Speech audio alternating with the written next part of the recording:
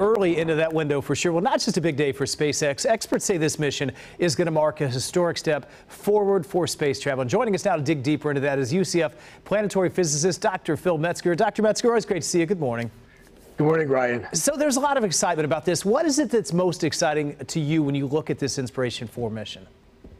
To me, the most exciting thing is that this is opening a new era of space travel because this is a mission that's entirely dedicated to flying citizen astronauts into space. And we hope this is the first of what's going to come a lot of missions opening the door of space to everybody.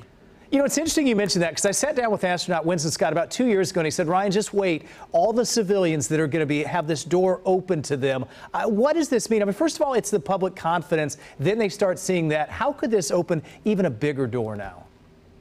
Well, it's all about developing business models for space companies so that we can have a lot of business, uh, so that we can bootstrap the economy of the space environment, so that you get into this virtuous cycle. The more you can fly, the cheaper it gets, and therefore the more people that can fly, and therefore the cheaper it gets even further still. Yeah, and we could we've certainly seen it with Blue Origin. We've seen it with Virgin Galactic getting these ready to go and in some cases already going. So how soon? What's a time frame in terms of seeing more launches like this from some of the competitors? Well, I think we're going to be seeing them regularly now. So uh, Virgin Galactic and Blue Origin doing suborbital flights. I think we're going to be seeing those regularly. This is the first one for SpaceX, of course, going into orbit.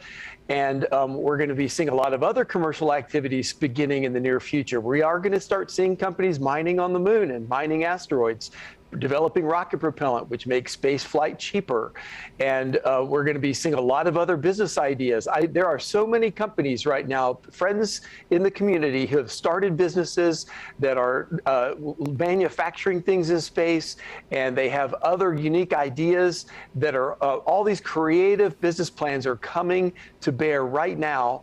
And so I think over the coming years, we're going to be seeing a lot more of this. And how it's different is it for these companies? I mean, obviously they deal with professional as astronauts and people that this is their career. That's not the case with a launch like this. Yes, they've trained, but they're not astronauts.